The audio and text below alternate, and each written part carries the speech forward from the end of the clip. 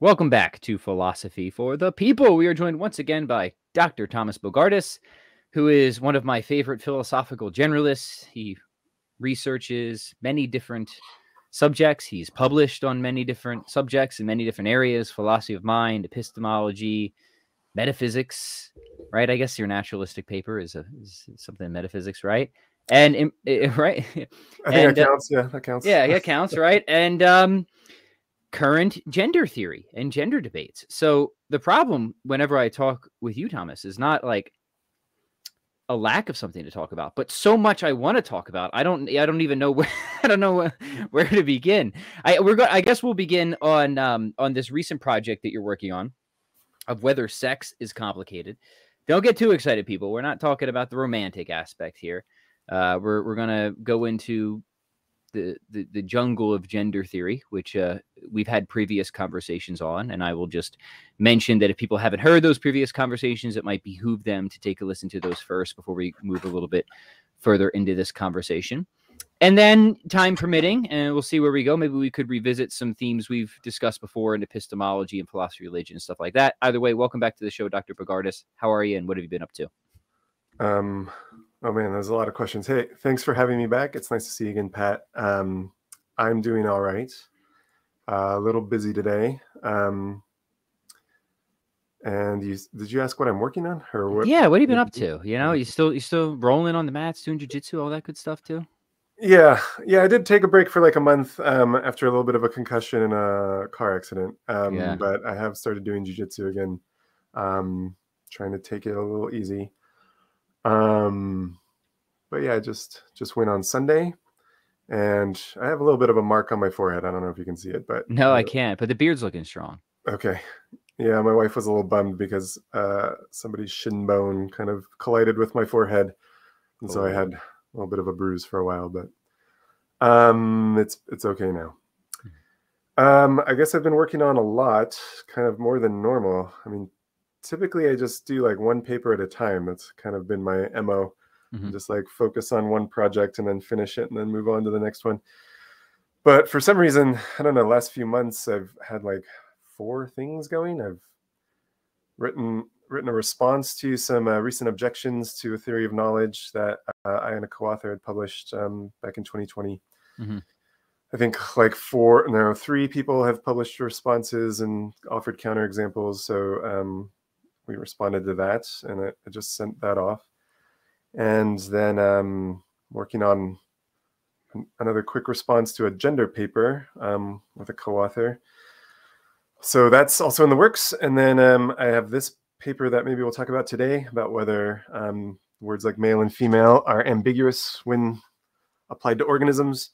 And I submitted that at the end of December. And then, okay, just just two more things.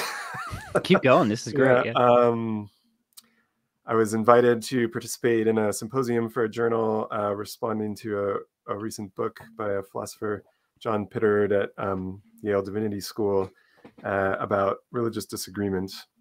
So that's something I hadn't really thought about for many years. Mhm. Um, so I've gotten to dust off that part of my brain and think about disagreement stuff again. So I'm like 75% done with that paper and it's due next week. So Wow. I'm going to try to finish that one up. And then I guess um, the next thing on the horizon is um, I think I'm going to try to write a paper with a student who is interested in the topic of this argument against um, Christianity from um, meager moral fruits. It's called the argument from meager moral fruits. right. Yep. hmm Yeah, if so the Christianity is true, why wouldn't we see moral fruit from Christians? Essentially. Yeah. Mhm. Yeah, especially because Christianity kind of promises that. It promises that if you become a Christian, um, you'll receive a sort of treatment, um, a benefit. You'll receive this gift of the Holy Spirit that will manifest itself in various ways. And there are all these gifts of the Spirit, these fruits of the Spirit. Um, and so, shouldn't we be able, be able to do something like a clinical trial and see if there's an effect of this treatment? Um, and I guess a lot of atheists say if we were to do such a study, nobody has, but if we were to do it, you wouldn't see a treatment effect. Um, and then I, I think that would be a serious problem for Christianity if that were true. Mhm. Mhm. So yeah, those are the sorts of things I'm thinking about these days.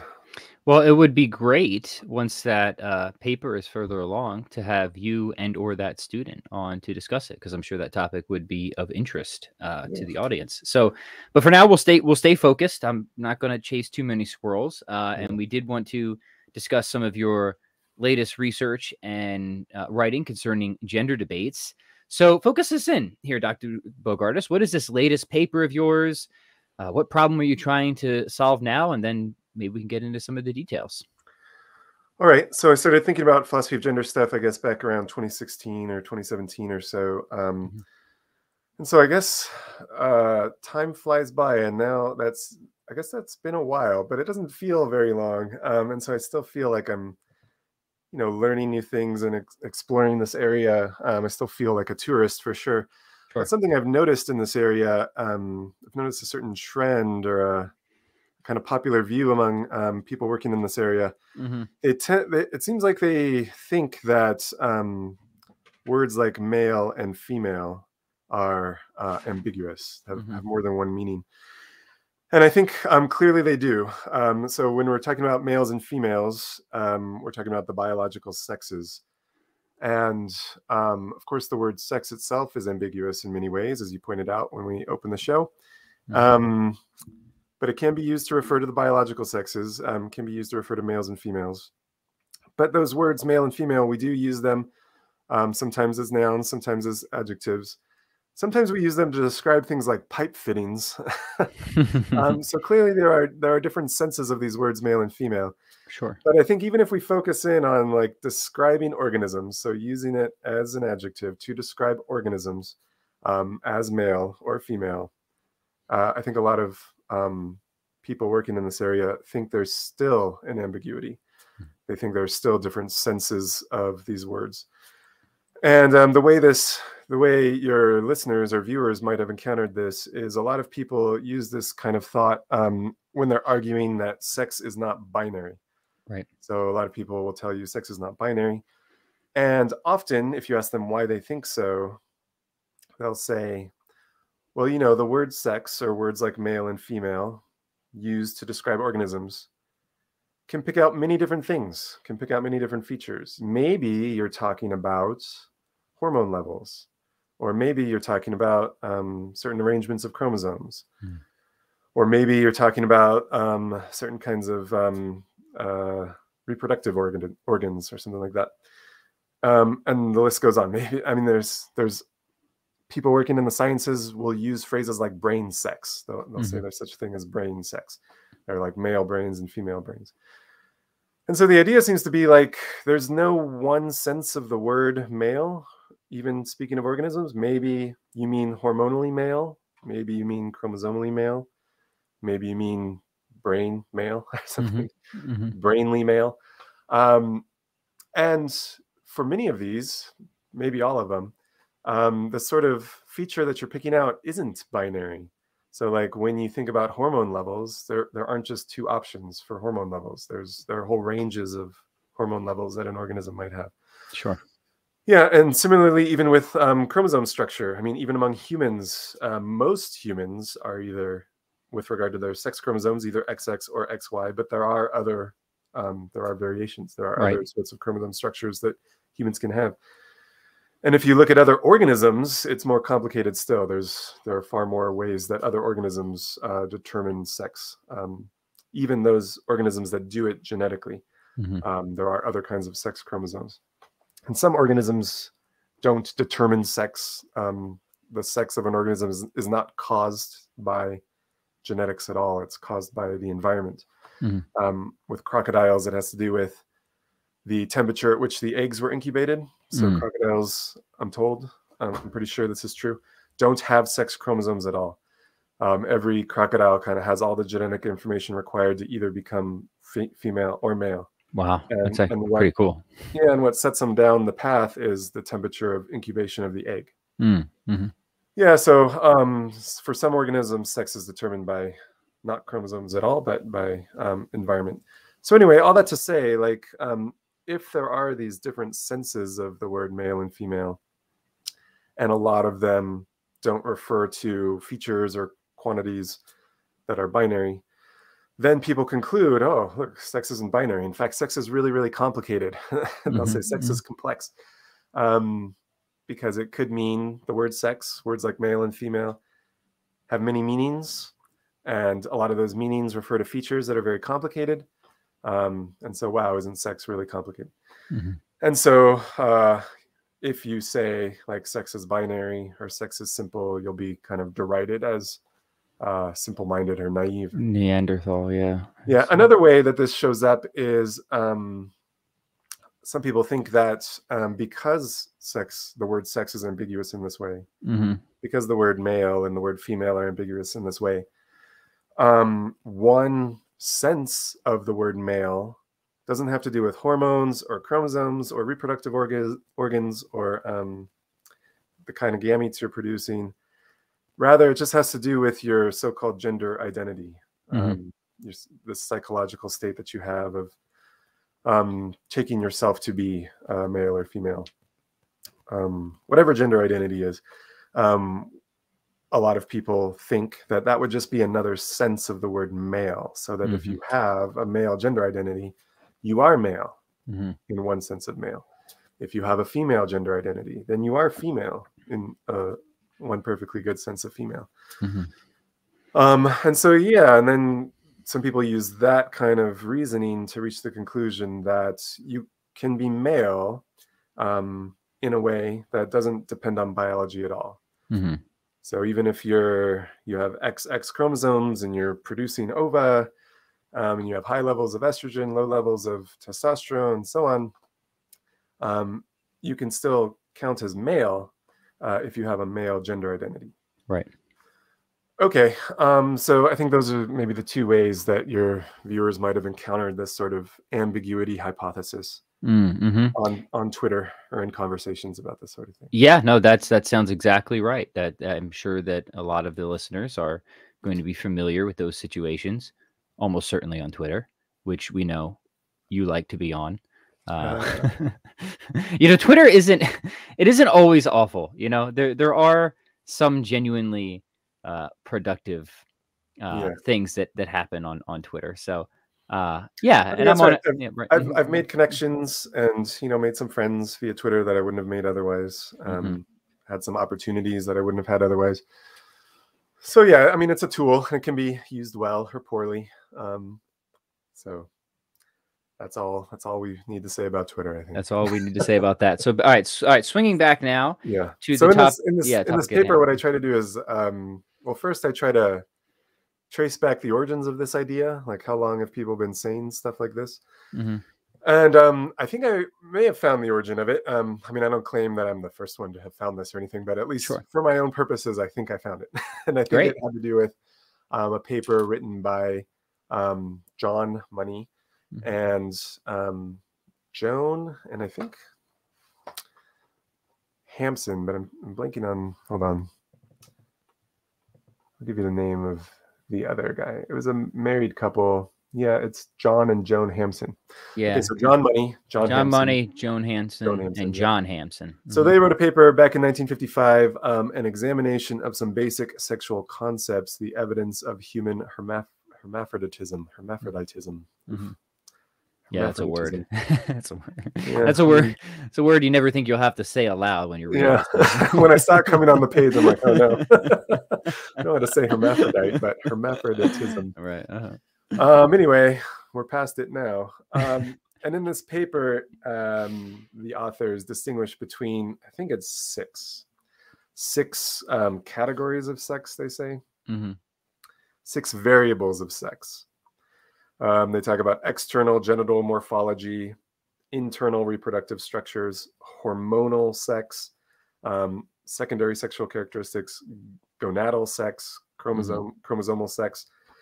Um, yeah, and then they also talk about gender role as male or female, um, how you were raised, or what sort of role you're playing in society. So anyway, they speak of these as variables of sex. Um, other authors have called them types of sex, um, layers of sex, Mhm. kinds of sex. Um, others like Harry Benjamin and Anne Fausto Sterling use this talk of like kinds of sex, layers of sex, types of sex. Um, and sometimes they'll just flat out say these are different senses of the word sex. Um, so I try to collect some quotations where people really do give voice to this view that there there is a kind of linguistic ambiguity going on here. Sure. Um, so I try to prove the case that this really is a view, um, and it's got a historical pedigree. Yep. Not like attacking a straw man. You here. haven't This just created view. this giant straw man. Behold. now watch me destroy Yeah. it. Right. Yeah. Um, yeah, and I, I have some recent examples. One is from a forthcoming paper from a philosopher um, named Rebecca Mason, and it's forthcoming in Australasian Journal of Philosophy. And she says there are various acceptable ways of defining the property of being female. And then she goes on to, con- she's attacking the view that to be a woman is just to be an adult human female. And what she does in the paper is um, she considers different senses of the word female and she's really clear that like these are different things that the word female might mean and so she considers an alleged chromosomal sense an alleged gametic sense an alleged phenotypic sense so your pheno- your phenotype is the way you're um, presenting the way your body's actually formed Mhm. um, the way your genes are actually expressed and appear um, so the sort of anatomy and physiology that we associate with males and females she thinks that's Okay. another sense of the word female Mhm. um, okay, so there's a, a very recent example of somebody who seems to endorse this ambiguity hypothesis. And then very recently, um, another philosopher, Marcus, um, pretty sure you say his last name, Arvan. Marcus Arvan, A R V A N, has a paper forthcoming um, where he says on ordinary usage, the literal meaning of female is ambiguous having both a biological interpretation and also a gendered interpretation, referring to individuals who satisfy socially constructed gender norms, um, such as norms for gendered traits and performance, as well as self identification.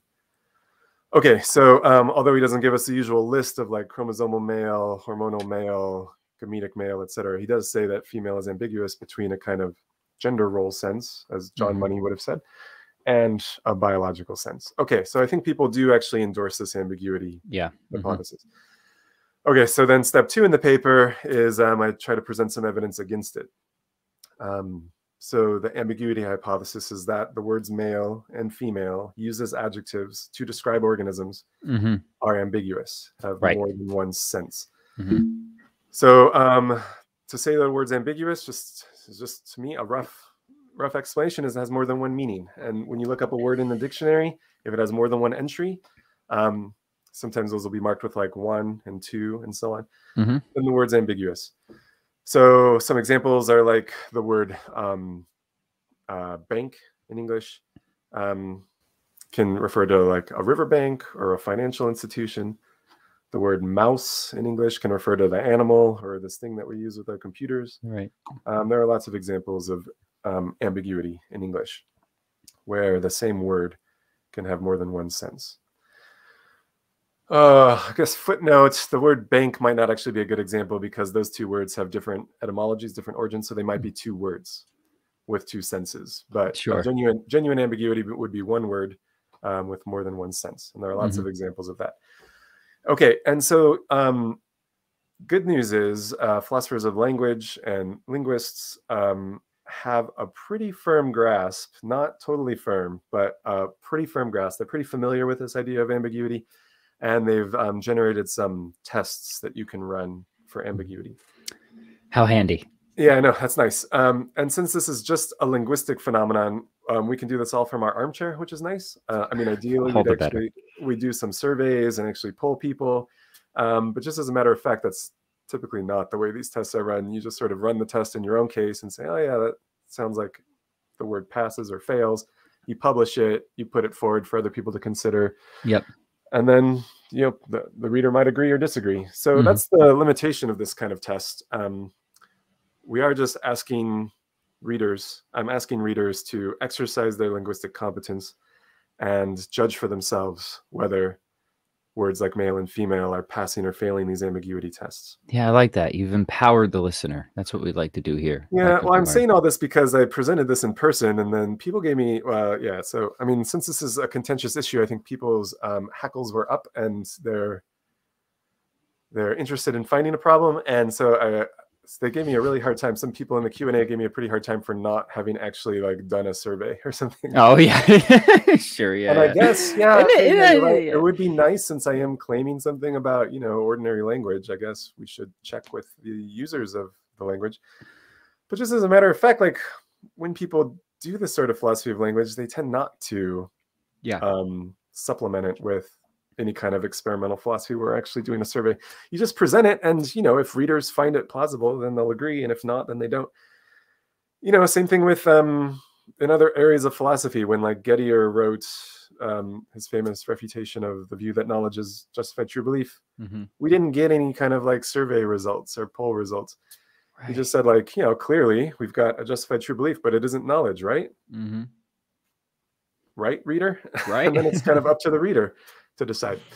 So anyway, um, that's why I put that little preface before these tests. I, I understand that I guess it would be pretty cool um, to have survey results and actually do some experimental philosophy, but um, I don't think that's strictly speaking required. I'm just going to Yeah. present these tests for your consideration, and if you find them plausible, cool, Yeah. and if not, then forget about it. Yeah, I don't know. A lot of surveys I read on a lot of things are a little sketchy too sometimes. So Yeah, that's true. And you know, I'm not really trained at like um, survey construction or execution or how to interpret or present the results, so I wouldn't be the person to do that.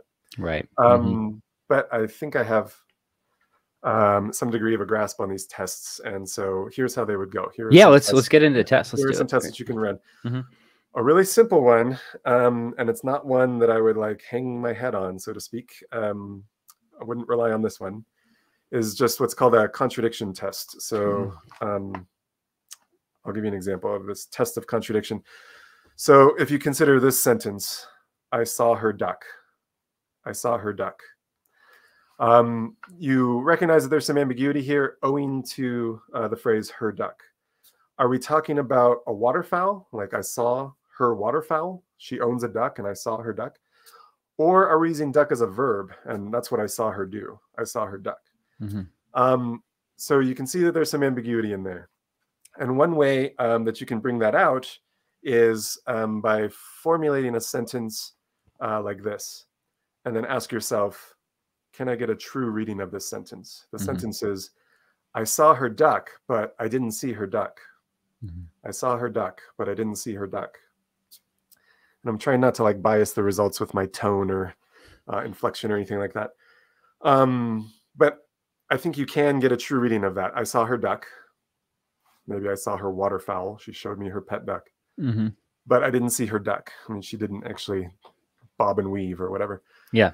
Yeah. Okay. So if that word, if that phrase actually her duck were not ambiguous, if it were univocal, if it Mhm. just had one interpretation, then that sentence would have been a contradiction. Yeah. it- I saw her duck, but I didn't see her duck. That would have been a contradiction. And Yep. so it would have struck us as like impossible. Like Mhm. that couldn't be true. But our brains kind of search for a true reading and find one. And we, Mhm. re- we realize, oh, here's how I can make sense of that idea. Yeah, I saw her waterfowl, but I didn't see her bob and weave. Right. Okay. Um, so that's one test for ambiguity. We do we construct one of these sentences that if the word or phrase were univocal would result in a contradiction. Um, but if it's ambiguous, there would be a true reading of it, and then just ask ourselves, is this a contradiction or is there a true reading of it? Mhm. Okay, so we can do something like that with words like male and female used to describe organisms. If you just take like a typical male, like Joe Biden, um, and just consider the sentence that Joe is male, um, the the ambiguity hypothesis says this is kind of underspecified. What kind of male are we talking about here? You know, are you describing his hormone levels? Are you describing his chromosome, his chromosomal structure? Are you describing his anatomy, his gender identity, his gender role? Um, so, according to the ambiguity hypothesis, there are lots of readings of a sentence like Joe is male. Mhm. According to the hypothesis that this word is actually univocal when used to describe organisms, um, there's only one reading. Mhm. And I guess, I mean, I don't want to like hide the ball here or bury the lead. I think the true reading is um, to be male is to um, have a certain kind of function Right. or possibly disposition. I'm not sure exactly the best way to state it, but uh, it's either a function or a disposition. I kind of like the function one. Yes. Um, it's to have a certain kind of biological function, and it's to have the function of producing sperm. yeah. Um, of course, things may not always fulfill their functions. Uh, Mhm. Like a broken toaster has the function of producing bread, but it doesn't. My car has the function of starting, but if the battery's dead, it won't. Right. Um, certain cell receptors in our bodies have a function of binding certain things, but if they're truncated or mutated or broken, they don't. Yep. Okay, you get it. So, um, so uh, I just mentioned that because some people quickly think like, what about people who don't produce sperm? Or Yeah, that's one very common objection, of course. Yeah. Right. Yeah. mhm. So I think we just need to understand where this is function talk that we're Right. That engaged in. functions can fail. Right. Yeah. Uh-huh.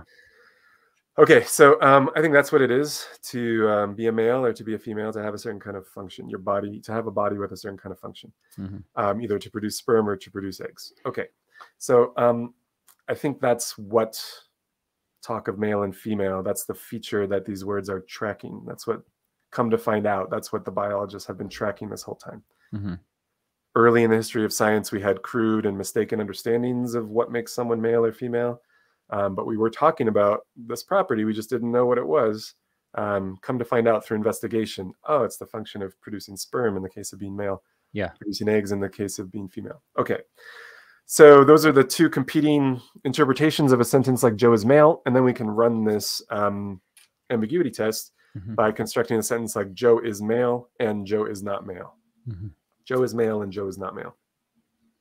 Okay, and then you just again you just lean back, exercise your linguistic competence, and ask yourself, is that a contradiction, um, or can I get a true reading of it uh, using these words in their in their in their ordinary ways? And again, if it's if the ambiguity hypothesis is true, there is a there is a true reading of this sentence. Um, maybe we're saying something like, Joe has hormone levels typical of males, but anatomy typical of females, or something Mhm. like that. Um, but on the hypothesis that this word is univocal, this this is just a contradiction. Right. And uh, I'll just report that when I run the test, if I were a participant in a survey like this, I would answer contradiction. Yeah. Let me see. Let me run it. I got the same result. Okay.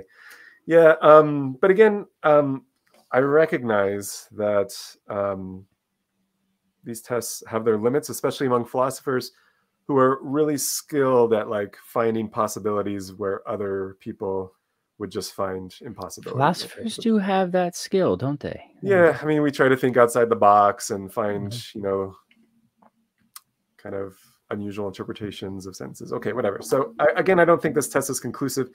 Here's another one. Um, it's just a redundancy test. It's like the contradiction test. hmm Um, but with the duck example, you can say something like, "I saw her duck." What's more, I saw her duck. Mm, You know? mhm. And um, if this were univocal, then this when then what I just did was redundant. That sentence was redundant. Yeah. Um, but because there's ambiguity, I may be giving you additional information here. I saw Yeah. her duck, waterfowl. hmm But what's more, I saw her duck. Um, okay, so that's just it's, but it's a lot like the test of contradiction. It's just sort of Hmm. the inverse. So you can do something like that with um, being male or being female. You can construct sentences like Joe is male. Furthermore, Joe is male. Yeah. and again, I'm trying not to bias you with the tone or my, my voice, but to me that just sounds redundant. Um, but I guess to be fair, I should try to do it with a straight face. Yeah, well, yeah, well, I do look like I, I I really appreciate you, Doctor Bogardus, because one of the the first times I think you did a conversation on this, I think you kind of got attacked because people, I guess, thought you were advocating for the position you're actually arguing against because your tone was so neutral. now, look, I try to do that too. You know, look, we know where we stand on this. Listeners know that we're both quite skeptical. You're published as being skeptical against a, a lot of gender theory. I've made my thoughts known, but we're of course going to try and be fair and look at all the arguments. At the same time, though, there is not to get like sidetracked, but there is like just something to be said for um so some some things are just so ridiculous on their face. You know what I mean?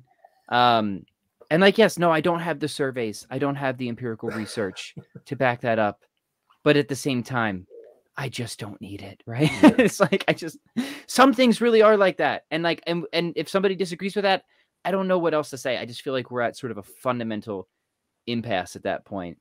I don't know. I just felt like I had to get that out. You don't have to respond I- to it if you don't well, want. Right? Yeah, just um, I mean, with regard to the survey question, I, I agree it would be nice. It would be really nice to actually do some experimental philosophy in this respect. But I, I guess my response in that Q and A was just to point out that um, it's a little we've got a little bit of a double standard going on here because when people do ethics or epistemology or metaphysics and then claim you know present something for our consideration and claim that it's pretty clear or pretty obvious we don't in those cases demand that they do a survey or a poll we just reflect on it and ask you know do i find this plausible Seems pretty obvious, right? yeah and Mhm. ordinarily we think that's enough sure it might be nice to do some experimental philosophy and get some corroboration in that regard but it's not required okay so that's all that's all i said Great. um but anyway yeah so these two tests the contradiction test the test of contradiction and the redundancy test um i don't think they're as good as the third test the third test is um what's called conjunction reduction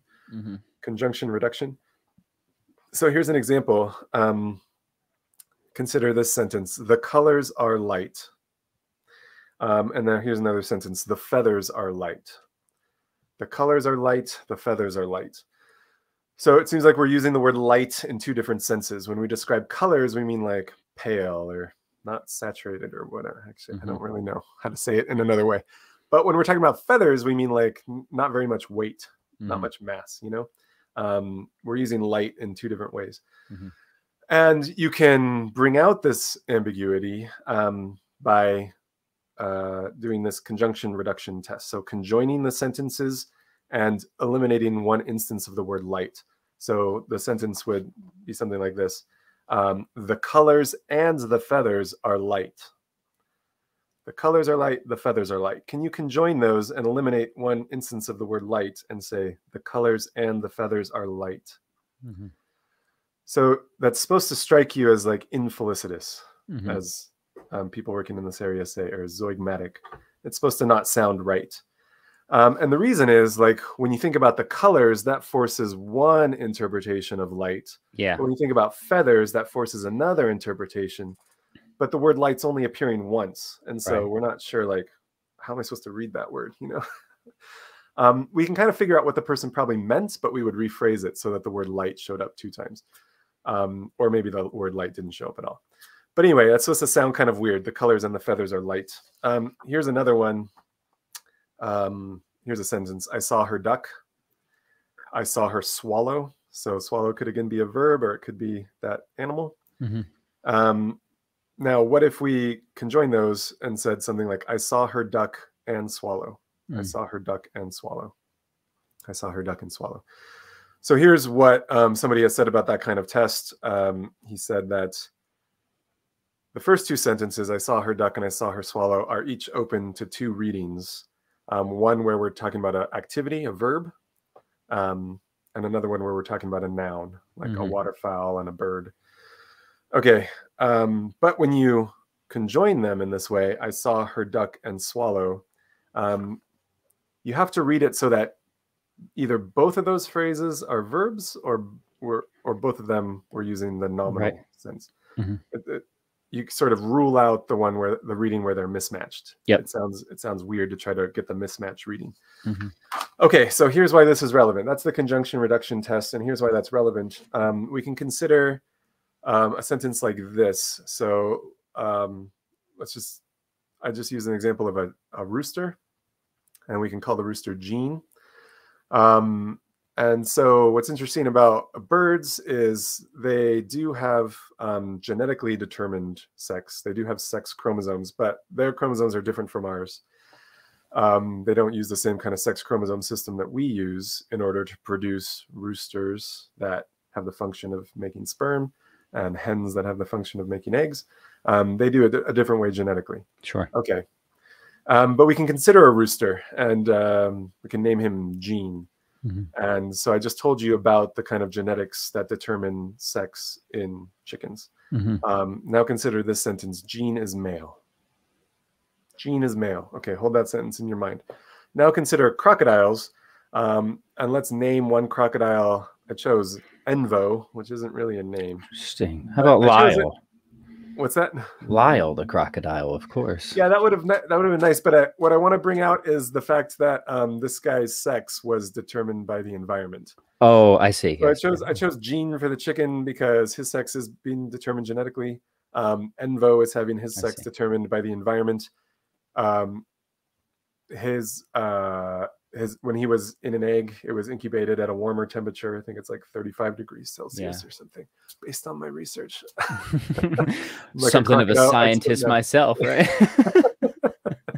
That's right. Um, so his egg, when he was an egg, was incubated at a warm temperature. Okay, and he's got all the sort of anatomy typical of male crocodiles. He's producing sperm and so on. We're calling him Envo. Yep.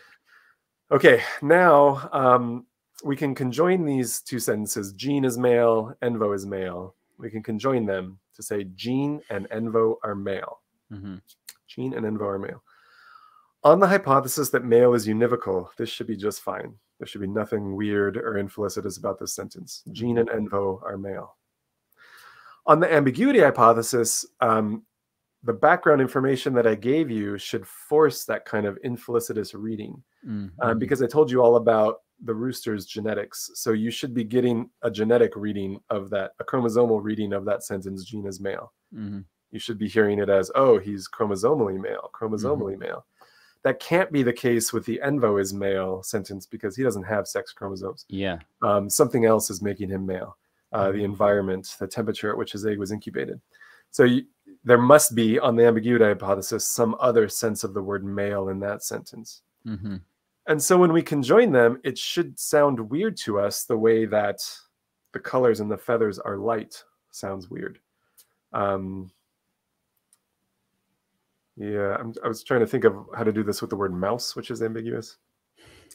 Um, like if I had an actual animal mouse and then I've got this computer mouse, um, I could say this is a mouse, this is a mouse, but then saying like I have two mice sounds a little weird because Mhm. obviously I was using mouse in different senses. Right. Um, yeah, so that should the same thing should happen with male in the case of Gene and Envo. When I try to say Mhm. Gene and Envo are both male, if the word male is really ambiguous, that should strike us as infelicitous, zeugmatic, But does it? weird. But does it? yeah. And Let me again, I'll run just- the test. Yeah, let me. ru- I'll just be. I'm doing a very. It's a small sample size. Um, it's me and I guess you. Right. yeah. Um, we Good. can run a quick little test, and I'll just tell you if I were a subject in this study, I would vote no problem with that sentence. That sounds just fine. Right. Mhm. And just to make it even worse, we can like pile the contextual information back into the sentence. Um, so to really force the zeugmatic reading on the on the ambiguity hypothesis, this should be infelicitous. We can say, we can think about this sentence: Gene, who has the sex chromosomes typical of roosters, and Envo, who has no sex chromosomes at all, are male. Mm. Just consider that sentence. So again, I don't think there's any problem with that sentence. I was, yeah, they're both Right. male. I get it. Um, But if you're into the ambiguity hypothesis, you should say, "Hold up, something something weird is going on here." hmm Um, that's that sentence is poorly constructed. Something weird is going on. hmm Okay, so that was the third test. And as far as ambiguity tests go, I think that third one is probably the best. Yeah. Uh-huh. Again, I don't I don't present any of these as like conclusive, like, hey, we've got a knockdown argument here. Because it turns out um, language is really messy and weird and complicated and hard Mhm. to pin down. And I get that. Um, I'm just presenting you some standard ambiguity tests and saying, from my perspective at least, it looks like uh, these words male and female fail the ambiguity tests. Right. Yeah. Um, so yeah, we're not we're not finding ambiguity here. Mhm. Um, and then there was like one more, but I guess I'll just stop and see if you wanted to say anything real quick. No, I mean this is this is this has been great. Uh, you're great at. I guess you already presented this, so you have a little bit of rehearsal, but you're doing a fantastic job tracking everything so far. Uh, I imagine Yeah. the listeners are as well. Um, and that's right. That, that that all seems right to me. Those results seem right. I, I would imagine again if you if you if you did run the surveys and you um, had people just sort of honestly report that uh, it would probably favor your hypothesis, right? Uh, I don't That's have that. I, don't- I don't have that uh, uh, available, so I can't prove that. Uh, but it just Yeah. strikes me as probably the case. Um, We can at least say this: it's some evidence against the ambiguity hypothesis. Let's Yeah, yeah, it is yeah. some evidence. It's not what you would expect um, on the ambiguity hypothesis. Mhm. Okay, and then the last one. oh, yeah, no, you you finish uh, everything you want to get through, and then I'll uh, throw some more general questions at the end. Yeah. mhm. Okay. Um, so the last test um, is what um, philosopher UC Davis Adam Sennet um, calls an Aristotelian test. He attributes it to Aristotle, um, and he says that um, Aristotle offers this test. You should try to construct a definition that encompasses both meanings, or in our case, like all the alleged meanings, um, and posit ambiguity only if you fail. So try for uh, univocity, try to come up with a univocal sense that would explain all the data, and posit ambiguity only if you fail. Um, and he gives the example of like uncle. Like, what if somebody was under the impression that the word uncle is ambiguous? And they think, well, one sense is when it's like a brother of your father. Another sense is when it's a brother of your mother. Those are 2 Mhm. different senses of uncle. Um, and you run the ambiguity test by them, and they claim that, um, yeah, it passes all the ambiguity tests. Well, I guess the idea of this fourth test is try to come up with a definition that encompasses both and then posit ambiguity only if you fail. Mhm. And of course, the definition that encompasses both is brother of a parent.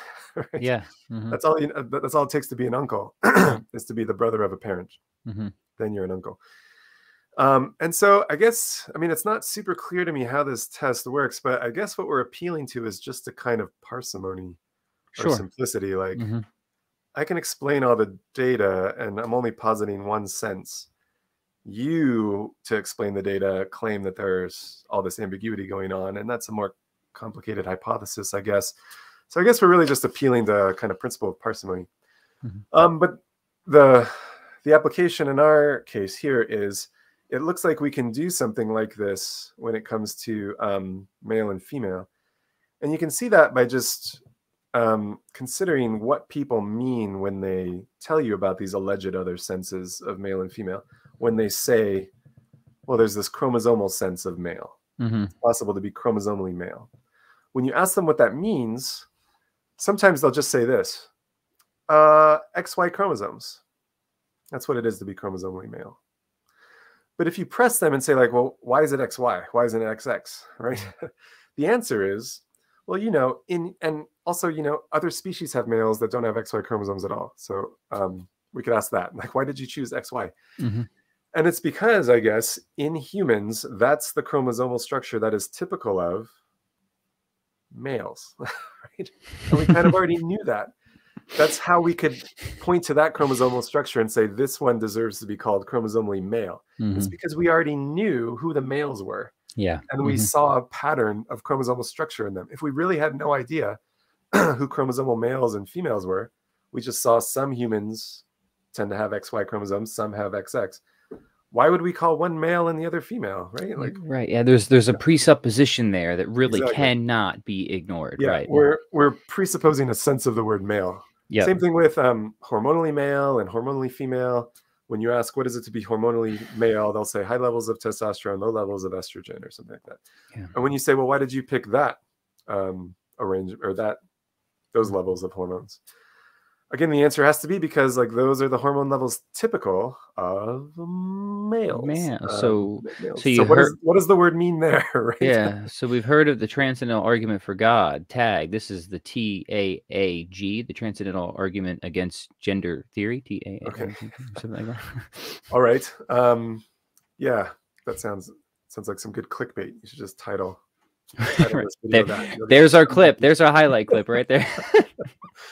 Uh, yeah. But the point is, there is this presupposition, right? That, Yeah, that we and really just can't act like that's not there, right? And so, Uh-huh. if we just got clear on what that fundamental sense of the word male is, and what Mm-hmm. that fundamental sense of the word female is, then, um, as in the uncle case, we'd be able to explain all these other things that we're saying. Mhm. When we say hormonally male, we're not using male in another sense. We're we're just talking about an organism that has hormone levels typical of males of that species.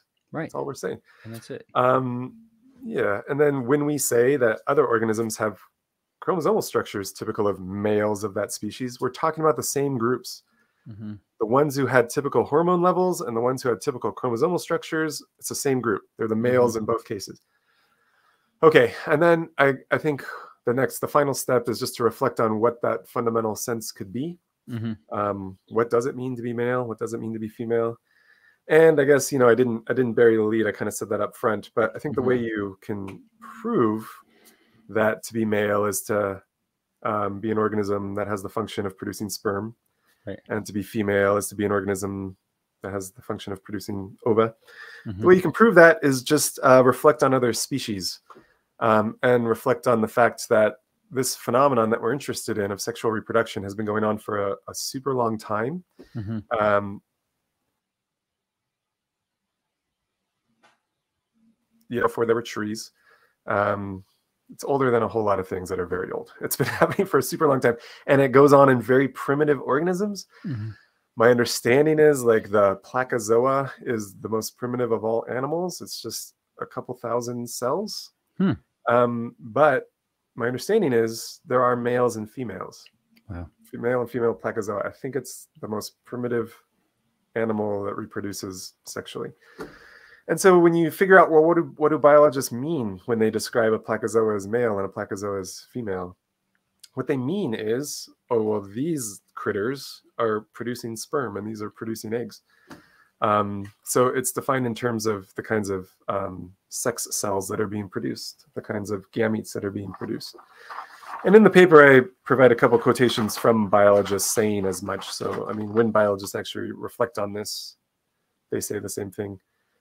Um, I've got a quotation here from Jussi Lehtonen and Geoff Parker from 2014 who say, these are biologists, not philosophers, Mhm. um, who say that males are those individuals that produce smaller gametes, for example, sperm, while females are defined as those that produce the larger gametes.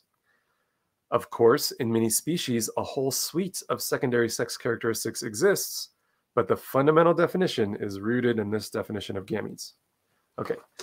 So again, just because two biologists said it doesn't mean it's true, but um, that's some evidence that that's what biologists are talking about. But I think the the better evidence is just reflect on the way biologists are using this word and what what what properties they seem to be tracking, and notice that they use the words to describe very very simple organisms, organisms that just share nothing with us with regard to hormone levels, chromosome structure, primary and secondary sex characteristics.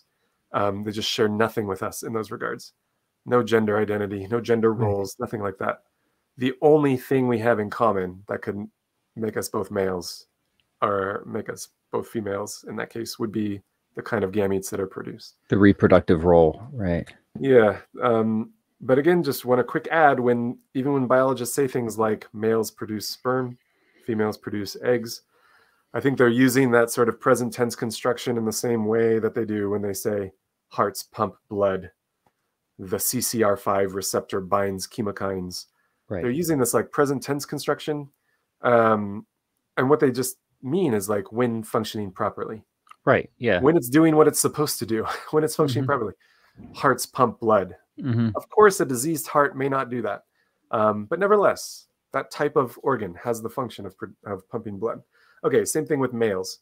Although some males, due to age or injury or disease, may not produce sperm, and some females, due to age or injury or disease, may not produce ova, nevertheless, they have the function um, of producing sperm or producing ova. That's what makes them male or female. Yeah, so that's that's pretty much uh, the paper. There was one other like minor concern that was brought to my attention recently. I could just tell you about. Since Yeah. Sure. we're on the subject. Um, so some people worry about, um, in the case of some species, uh, females undergo menopause, which seems like a kind of programming that the organism has to actually shut down egg production. Um, uh, and I guess I should have looked into this before we talked, because I've been meaning to look into like what actually happens during menopause and are do the eggs degenerate or are they just no longer produced or do you actually run out of eggs? Um, because my understanding is like at least human females are born with all the eggs they'll ever have. Is that right? I I have heard that. They Um, generate it in utero, and then the eggs are generated in utero and then released during the course of a lifetime. And I guess I'd be super surprised if um, the eggs literally the, the egg supply is depleted in menopause. Gosh, I shouldn't just be speculating. We should actually look into this. Um, but just as a matter of fact, no more um, ovulation. Let's yeah. Mm-hmm. No more ovulation. And so some people raise this as an objection to the view that to be female is to have the function of producing ova, because they'll say, what about postmenopausal females um, who no longer have that function? And I guess what's what's sort of plausible about the idea that the the very function is lost is the fact that this seems to be a kind of it was it, it evolved. Um, it's it's sort of a programming it's not a fluke or an accident. Um, the female body is programmed to do this, mm-hmm. um, to sort of shut down ovulation.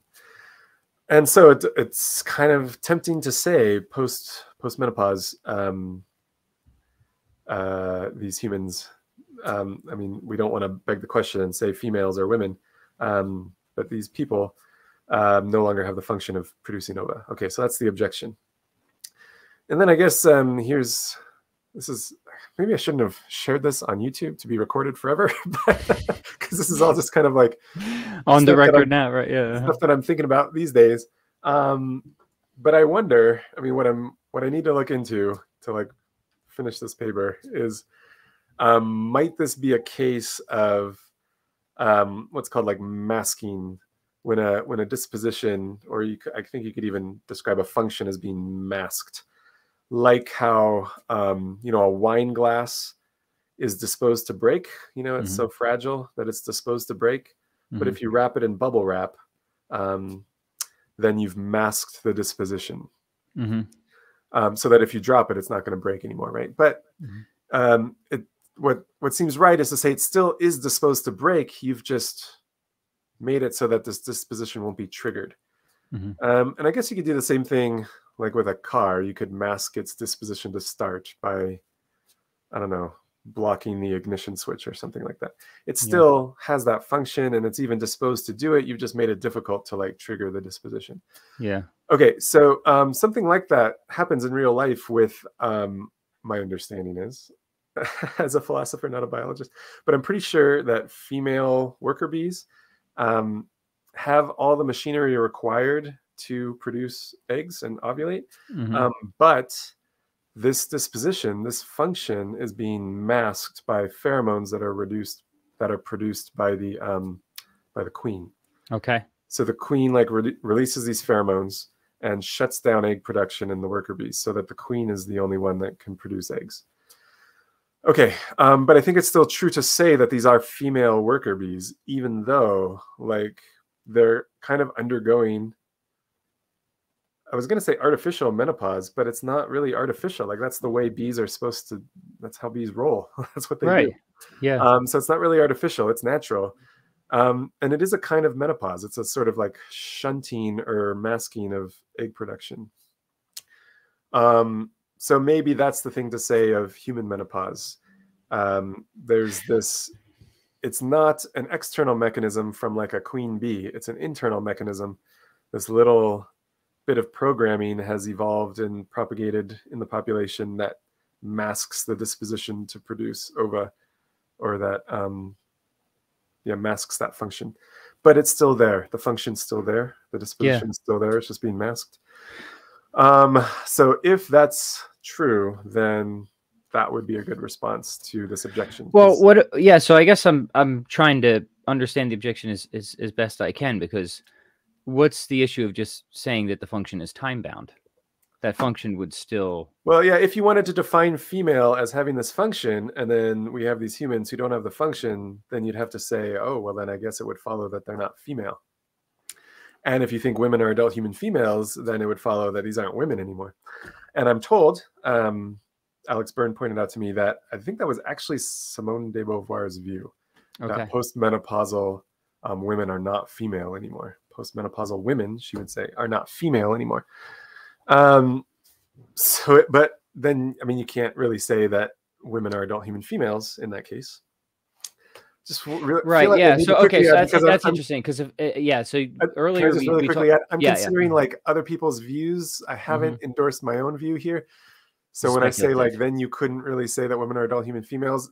there was a big old antecedent there. Like if you accept this and this and this, then it would follow that women are an adult human females. Yeah. So that's the problem. Um, if you want to defend the view that women are adult human females and to be female is to have the function of producing ova, um, you, yeah, you got to say something about humans who apparently have lost that function, and yet we can't. They we still want to say are female yeah. and are women. Yeah. Yeah. So earlier we talked about function versus disposition. You know, I'm inclined toward an Aristotelian picture of things a lot of times, and um, I guess my initial speculation here, and let me emphasize that that's all it is, because uh, I don't spend nearly as much time in these weeds as you do, is that that person is still the type of thing that had that disposition. Yeah.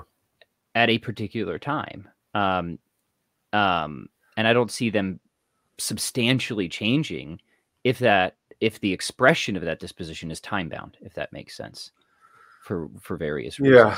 Yeah. Um, well, um, maybe that's maybe that's. Do wrong, you still want to say that like to be female is to have a disposition to produce ova? Because if that's true, then the fact that this person had the disposition but lost it, then it would follow that they're no longer female. Mm, yeah, I see what you're saying. I see what you're saying. You could say, mm-hmm. well, maybe here's, you know, upon reflection, maybe here's what biologists have struck upon. Um, to be female is actually to just have had the disposition, or like you will have it, or you do have it. At some point in the creature's life, this disposition will naturally manifest like yeah that. so uh, i guess i got to think about the definition a little bit more right so earlier i said the disposition to play a particular reproductive role right? Mm-hmm. um and so i'm just thinking aloud right now right? That uh does that role right does that role have to be actively played yeah. um at all times to yeah. put somebody under that classification i guess is just the direction i'm thinking yeah let me just give you one, ex- right. one more example um, mm-hmm. this mm-hmm. i mean here's something else to think about as you think through mm-hmm. the prospects of a definition that says something like to be male is just to have had or have or will have the function of producing sperm like at some time in the organism's lifetime this function is naturally there mm-hmm. um, here's one complication uh, there are sequential hermaphrodites in nature, uh, like clownfish um, and some other species of fish mm-hmm. can, depending on the environment, like actually switch what kind of gametes they're producing. And my understanding is like it's because the internal mechanisms required for the gamete production are pretty similar. right. The gametes themselves are pretty similar. So that's why these organisms can do it. Um, it's pretty easy for them. Okay. Um, but if you said that to be a, male is just to have had at some point in the organism's lifespan the function of producing male, then you have to say of a stage in which this clownfish is only producing ova, right? wired to produce ova, you'd have to say mm-hmm. still male, mm-hmm. like male and female. So mm-hmm. not actually a sequential hermaphrodite, actually mm-hmm. a simultaneous hermaphrodite for the whole lifespan. Mm-hmm. And I mean, that's not like a devastating objection. You could just kind of take that on board and say, yeah, you know, this is kind get of clowned by the clownfish, right? Yeah. Ah, nice. Um, now you can just, I mean, sometimes like a good theory will cause us to revise our evaluation of borderline cases or edge cases, you know, and this is mm-hmm. kind of an edge case. Um, it's a little bit unusual. So it's not, it, it's not a huge revision of our worldview to say, clownfish aren't sequential hermaphrodites; they're actually simultaneous hermaphrodites. Um, it's not the end of the world to say that, but that isn't what biology textbooks say. Just FYI, they right, say sequential. Yeah. Um, yeah, but yeah, to be honest, I don't know. It, I'm not. I, it wouldn't be the end of the world to me to have to accept that uh, clownfish. it doesn't all hinge on the clownfish, yeah, is what you say. Yeah, that, I mean that seems that seems definitely plausible to me, right? Um, and look, I uh, I'm not a scientist myself, so I don't know how many examples are out there like the clownfish. Um, uh, and again, I'm just I'm just sort of spe- I like I like the original uh, response you gave too. That certainly seems plausible to me as well. But uh, here we are, just kind of yeah, the, spe- the masking one. Yeah, um, mm-hmm. but that would actually require, and this is something that's been on my to do list for a while, like mm-hmm. checking out what like the actual what's happening at a um, biological level during menopause um, are is yeah is the capacity to produce eggs just being like irrevocably destroyed so that it, it's not like wrapping a wine glass in bubble wrap it's more just like smashing the wine glass or something like that Yeah. and then it's not supposed to break anymore you know because it's already broken Right. uh-huh. um, yeah so that's something to think about Yeah, some a future research project. But let me make clear for the audience, this is this is a bit separate uh, from what we talked about before, because before we were asking if there's ambiguity here, and now we're actually trying to get an appropriate definition, right? that's right. And uh, the one of the other things that um, uh, I, you're engaged in is um, I know you you referenced uh, Alex Byrne and stuff like that, and uh, I guess you're trying to um, uh, you know, present the the more Aristotelian understanding of things. Is, is that fair to say? Would you would you accept the uh, that Yeah, I that, that label? Um, I don't know how happy true like Aristotelians, like hardcore Aristotelians would be, but there is function talk involved, and there is you know talk of like final ends or goals or Mhm. purposes. Um, yeah, but I don't know. Least I'm gonna try to refrain from using words like forms and stuff and like substantial forms, Sure, um, yeah, just yeah, because that would really that would really perturb a lot of people. Whereas I think function talk is pretty safe, even in like contemporary biology. Contemporary biology is just full of function talk. Oh, It's for all over the sure. Yeah. mhm. Um, of course, like if you press them, they're not going to say like, "Yeah, I'm committed to full blown Aristotelianism and I believe in substantial forms." Um, but nevertheless, like, final it's- causality and right yeah, all that. it's Yeah. it's super um super appealing or attractive to describe the biological world in terms of functions um it's hard not to especially in the realm of like human biology and medicine I mean, medicine. Yeah, yeah, demands the, it, the, very idea of medicine is like something that helps right Mhm. something that produces health and so those, those that concept of health is a sort of teleological function or sorry Yeah. teleological concept Mhm. um, you've got to think that like the human organism has a kind of optimal Yeah. of being Otherwise, medicine can't be like healing. It's just altering, right? it's and that's altering. definitely not how we think about it. Uh huh. Yeah. Yeah. Good. Well, uh, yeah, I don't. We don't have to keep here speculate on this. That's cool. I'll, I'll be excited to follow up with you and and see how you kind of round this this one out. Is there anything else you want to say about this paper or the project in general? Any sort of final summary thoughts on it? Mhm. that's all Yeah, yeah, good stuff. Really helpful, and uh, glad you're doing this work. It's it's it's important work. Uh, I know that uh, it's not the easiest work to do for various reasons, so that's uh, appreciated.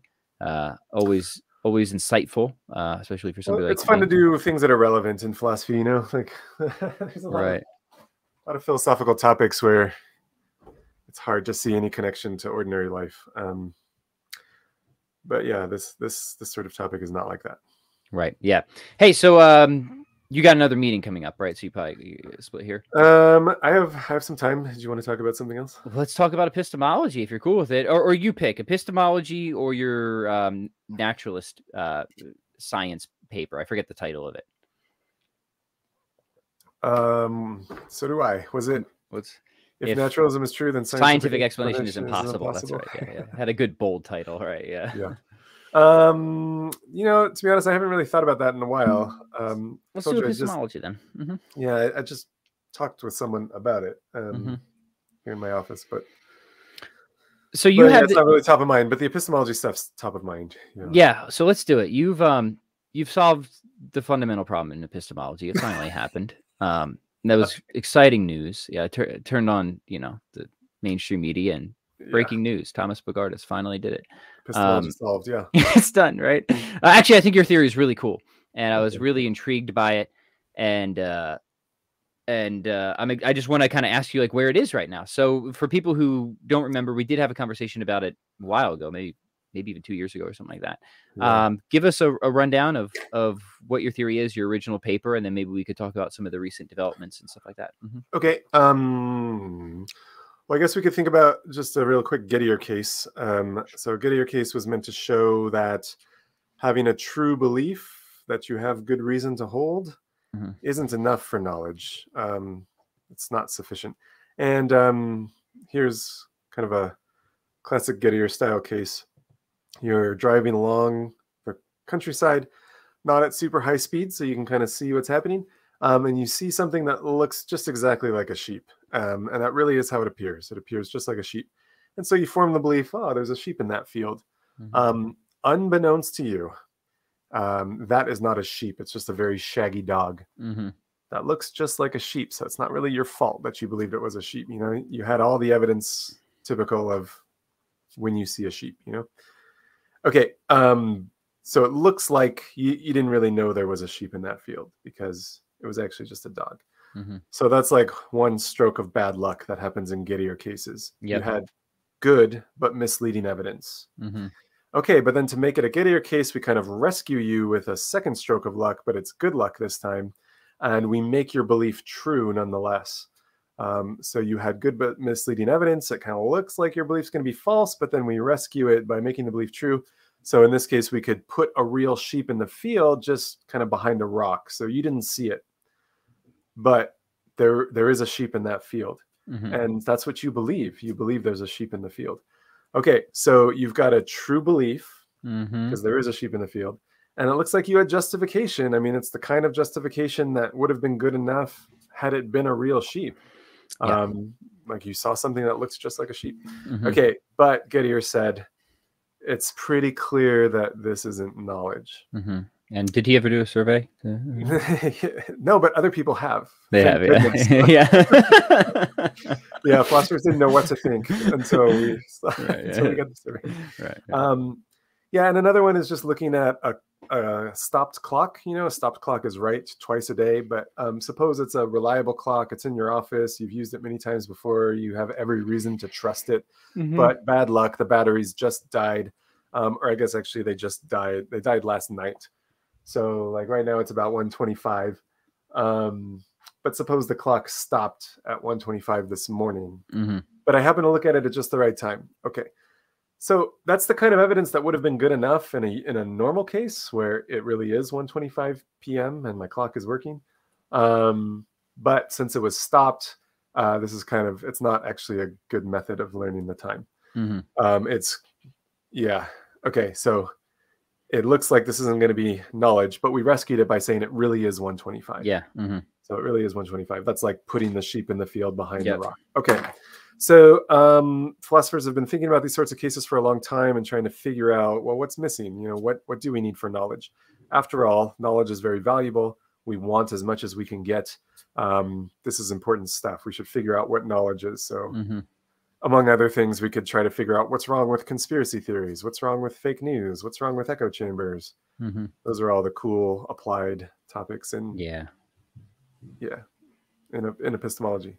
Right. What's wrong, mm-hmm. with, what's wrong, with, gaslighting? Okay, so we're trying to figure out what knowledge is, um, and so I and a former student of mine wrote a paper together mm-hmm. saying, well, maybe here's what's going on in these cases.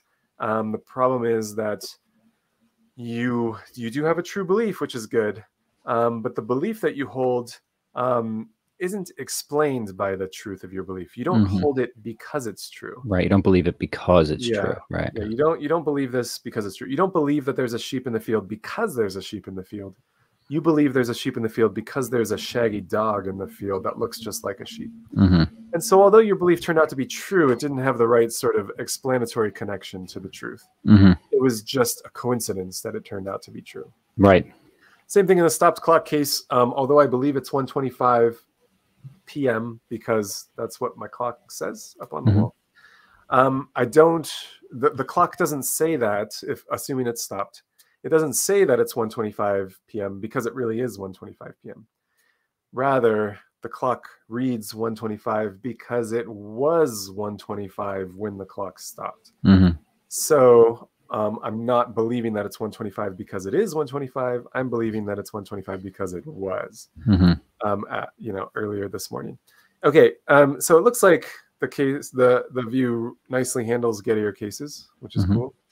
Something else that can be said in its favor is um, when we try to debunk each other's beliefs, it looks like what we try to do is attack this very condition on knowledge. We try to show that you don't believe that because it's true.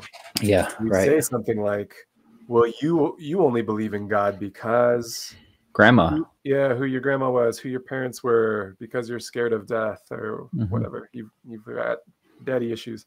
Mhm. Um, and all those kind of debunking explanations try to show how it's like a Gettier case. Like yeah. Even if God existed, you wouldn't know that God existed because you're believing for these other reasons. hmm Even if there's a sheep in the field, you wouldn't know it because you're just seeing this shaggy dog. hmm Even if God existed, you're just believing whatever your parents told you, or you're just a victim of wish fulfillment, or hmm you're a victim of unjust social economic structures, and you're Mhm. Imbibing the opium of the masses, or whatever. Right, opium of the yeah. right. Um, okay, so that's how debunking arguments tend to work. You just believe that because, and then we try to like sever the connection between your belief and the truth. and truth, right? Yeah. hmm Yeah, so um, that's suggestive. That- Strongly so. it- yeah, what it suggests is, oh well, I guess then if I had been believing this because it's true, I, I, I would count as knowing it. Mhm. So knowledge is just believing something because it's true. Okay, um, so maybe I guess with our remaining time, you want to just hear like a counterexample real quick? Yeah, and I just do want to emphasize people should go back and listen to our original conversation on this because I think we focused it in the religious context, if I remember right. It's been a while since we had that, right? Yeah, Uh, which was which was cool. It would show how you can um, kind of get out from underneath of the weight of those debunking objections with this. yeah. I think the reason I first started thinking about this was um, I was thinking about that elsewhere, else when objection to religious belief. Like, Right. had you been born at a different time in a different place, you would have had different religious beliefs. Um, so that has the structure, this typical structure of debunking arguments, and what it's trying to show is Mhm. you don't hold your belief because it's true. Um, you hold it for other reasons, you know, social reasons, because of early childhood teaching and socialization. Um, when I wrote that paper back in 2013, um, I didn't have this theory of knowledge in mind. I didn't really have any theory of knowledge in mind. I just tried to respond to that argument and show why it's no good. But now I think I have a clearer understanding of what's going on. Mhm. Um, yeah. Okay, so I think the response in the religious case is to try to show that although I may have been influenced by my parents and my culture and you know wanting to fit in with a certain friend group, sure, yeah, I admit it. I'm we're all biased in various ways. Yeah. Also, hopefully, fingers crossed, I'm believing for good reasons. Um, you know, like argument and evidence that's actually connected to the truth. hmm And I guess it's not so it's not so implausible that if somebody really just did hold a religious belief because their parents told them, they that may not count as knowledge. I guess it depends on why their parents told them that. If their parents told them that just as a joke or just to mess with the kid or I mean some parents say I want to raise my kids religious just so they get some morals or something like that. They don't really Right. think the religion's true. They Mhm. just like the community. Mhm. So I think in that case, yeah, maybe knowledge has not been preserved in this kind of testimony. But Yeah. in other cases, hopefully in my case, um, I did get connected to the truth in the right sort of way to count for my belief to count as knowledge. Mhm. So let me just I'll share one alleged counterexample. yeah, cool. Mm. Um, this one's actually from a friend of mine named Andrew Moon, philosopher Andrew Moon. That's right. Yes, this I remember his paper. Yeah. hmm Oh, okay. Um, yeah, he and Kenneth Boyce, philosopher Kenneth Boyce, um, they defend a kind of proper functionalism view about what knowledge is. And they just gave, uh, they were kind enough in philosophy, this is like a gift. Um, they were kind enough to offer me what they think is a devastating objection to my view. Some friends. Um, right, I- yeah, I remember in grad school, um, one of my professors said, some- like, you know, we were reading an essay written by someone else in the department, and then we were just, you know, thinking of objections and trying to cause problems for it. And then somebody in the class was like, should we really be doing this? You know, like, this is a professor in our department. And the professor who was reading the class was like, um, you know, the best you can hope for in philosophy is that people talk about your views. Um, what's worse is if they're not talking about your views, you know. Yeah. And if they talk about your views, they're probably going to be objecting to it. Right. Um, yeah. it's pretty rare for somebody to bring up your view just to say how cool it is. that doesn't um, get that doesn't get published, right? Yeah. Yeah, high fives are not published. Um, Right. You got to have some sort of criticism. So anyway, um, thought it was nice of Andrew to do that. Um, but and, and yeah, so for people to know proper functionalism, that's coming down from the Plantingian sort of world, Yeah, right? right. So, um, yeah, and you were you are not in that camp. You made that that clear last time. So we got we got Yeah. warring we got warring factions here. Lots of heat, but still, we're friends. We're all friends. So yeah, let's hear it. yeah, Mhm. right. Um, okay, so I'm just gonna pull up the case. I'll just read it verbatim. Sure. So they call this um, holo projector, like a hologram, a holo Mhm. projector. And uh, they, they call this person Misha, I think. I think that's how you would say the name. M I C H A. Okay, Misha. Misha sees what appears to be a vase sitting on a pedestal. As it happens, the pedestal is really a holographic projector, and there is no vase on top of it. Rather, what Misha is seeing is merely a realistic holographic projection. Misha, who is ignorant of these facts, comes to believe there is a vase in front of him.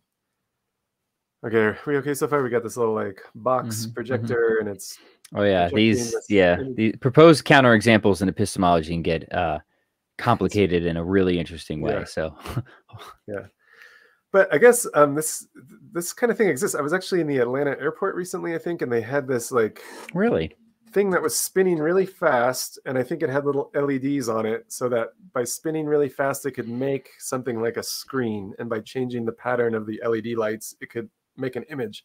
Oh, what was cool. really weird is the image appeared to be 3D and spinning, wow.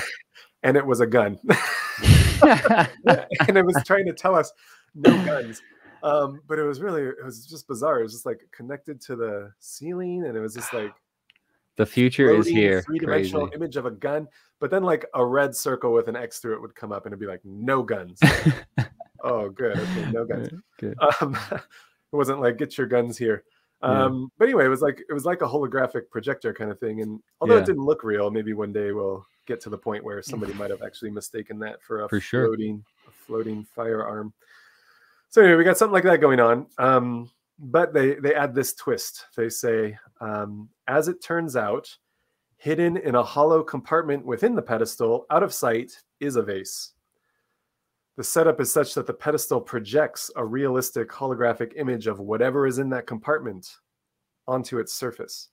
And this explains why Misha sees the image before him. Mm, mhm. Okay, so in my Atlanta airport case, I guess like if that thing had actually been a projector and like there was a gun just above it and it was scanning that and then projecting the image and the image looked so realistic that I mistook it for a real gun, then I would have been in this sort of situation. Mhm. Okay, so why is this an alleged counterexample? Um, they say that given the setup, the fact that Misha believes there's a vase in front of him is explained, at least in part, by the fact that there is a vase in front of him. So they think the explanation is going to go something like this. He believes there's a vase in front of him because it looks like there's a vase in front of him. And it looks that way because this projector is scanning an actual vase that's in front of him and then projecting it onto this pedestal. Mhm. So this chain of explanation does mention the vase that is in front of Misha. And so he believes there's a vase in front of him, and that proposition shows up in the explanation of why he believes it. Um, but second half of the counterexample, clearly um, he doesn't really know that there's a vase in front of him. So they say, like, my view of knowledge explanationism entails that this guy knows that there's a vase in front of him, Mhm. but isn't it obvious that um, there is no vase in front of him? Mhm. And so, in reply, of course, what I said was, you haven't conducted any surveys. Kidding. Where's the survey? Devastated. Where's the survey, buddy? Um, buddies. Um, no, in reply, what I said really quick was, um, and then we'll just wrap it up with this. Um, what we said in the original paper was um, the truth of your belief, in order to know that a proposition is true, the truth of your belief has to figure crucially into the explanation of your belief Mhm. has to figure crucially into the explanation of your belief. And what that means is we couldn't eliminate it and still explain why you believe as you do. So it's crucial. Like if you removed it from the explanation, you wouldn't have a good explanation anymore. Yes, yes. And Mhm. we borrowed this idea from a philosopher of science who says something similar about scientific explanation. if you want to know whether something is a difference maker um, in a scientific explanation, if you want to know whether, like, I don't know, here I've got this little clothespin for some reason. I've got a clothespin on my Mhm. on my finger here, and I'm I'm feeling pain as a result, just a little bit of Mhm. pain. Um, if you if I wanted a scientific explanation of why, I guess you know it'd start in my brain and go back through my nerves, and then it would. I guess the scientific explanation would have to cite the spring mechanism here and the rigidity of the material that it's made out of. Um, those would all be difference makers in the explanation of why I'm feeling pain, but the color of this thing wouldn't figure into the explanation. It doesn't Mm. really matter what color the clothespin is. It's just wood, you know, Right. natural wood colored. But if it were red, that wouldn't have really mattered. Mhm. Um, so although you might have said like, well, you're feeling pain because a natural wood colored clothespin is clamping on your pinky. uh, You don't really need to mention the color, right? Um, the, the explanation is just as good when you say you've got a clothespin clamped to your pinky. That's why, you know. You're right. Um, so, in order for um, on the view of knowledge that I was presenting, in order for your belief to count as knowledge, the truth of the belief needs to figure crucially into the explanation. In that way, you can't delete it and still have an explanation. Mhm. Okay, but I think that in the Misha case with the vase, Mhm. the fact that the compartment that the holoprojector is scanning is in front of Misha doesn't really matter to the explanation. It's like the color of the clothespin. It doesn't really matter. Um, like had the had the um, compartment been off to the side, and Mhm. you know it was scanning whatever's in that compartment over there, and then projecting it over here, um, we still would understand why Misha believes as he does. Yeah. Yeah, so um that, all that to say, like the the location of the of the vase is just kind of incidental. It's not really crucial to the explanation. And so, whew, fortunately, that means um, that the truth of Misha's belief doesn't actually figure into the You dodged a big one, right? Uh huh. Yeah. So the explanation of his belief is actually something like, well, he believes there's a vase in front of him because that's how things look. And things look that way because there is a projector that is scanning anything in, in its compartment. Right. And then projecting that onto the pedestal. I don't need to mention where the compartment is. Um, it, it doesn't really matter. Um, and so the fact that there's a vase in that compartment and the compartment's in front of him, that won't figure crucially into the explanation. Okay, so yeah, that's that's what um, my co-author and I say in reply. The co-author is Will Perrin, who's a graduate student at Georgetown University now, um, Awesome. former Pepperdine student. Um, but also in this paper, we respond to like, I think four other objections, but Yeah. I'm not Well, going to that- tell you about those now. No, that's okay. That's that's great. We'll give us something to look Yeah. uh, forward to. I'm glad that your project is uh, continuing to be developed and stress tested. That's very good because, like I said, I um, thought I had a lot going for it. I still do think it has a lot going for it. So that's that's awesome. So before we close this one out, uh, it's been it's been great. We covered a lot of territory. Uh, I mean, you mentioned everything you're kind of up to, but any like any things you want to plug at all? Things you've already done? Uh, work, uh, website, any of that? Um, Twitter? Yeah. Well, yeah, I guess I mean I usually just announce things on Twitter if people were interested in what I'm doing. Um, I try to use Twitter mostly for announcing, but sometimes I do argue with people. Mhm, mhm, mhm. um, so just follow me on Twitter. It's just my name. And you can see other sorts of interviews I've done on YouTube. If you just search for my name on YouTube, you'll find some other things. Um, if you search for my name using Google, um, you'll find my professional website, which has links to all my papers. Um, but yeah, that's that's pretty much it.